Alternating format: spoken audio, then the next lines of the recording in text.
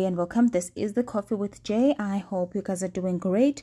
So, all know that Xoli Gcabashe has been on a path to change her life. She's been openly speaking about the fact that she wants to connect more with God and she's on a spiritual journey. And now she's changing just more than her ways, her name on Instagram as well. She said, I'm not hacked. It's me. I've changed my handle.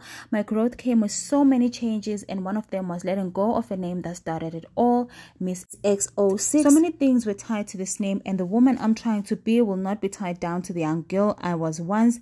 It was time. My spiritual growth needed it as well. Xolile Gcabashe, as she's now calling herself on Instagram. Now, that's a name, so it doesn't come as a surprise, but we do know that as Miss XO, is life lifestyle left a bitter taste in people's mouths as a lot of people used to criticize the way she was living. Now, Xoli would openly say that she could date married men. She was dating a married man.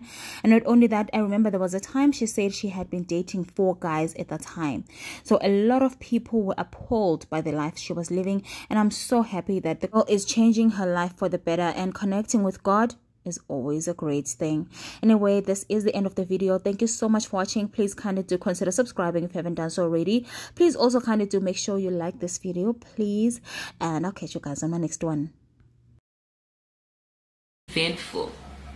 People are like aphelile manager akhona maningi. Mm, akhona maningi. But you know don't think, guys, don't think ukuthi kumbe asishelwa. Siyashelwa. Siyashelwa. I'm a fucking beautiful woman. Ngiyashelwa. Day in, day out. But I can't. Angisakhona. It's not easy anymore, you know? Because you are not, but you, you're not you. You are guided by the Holy Spirit.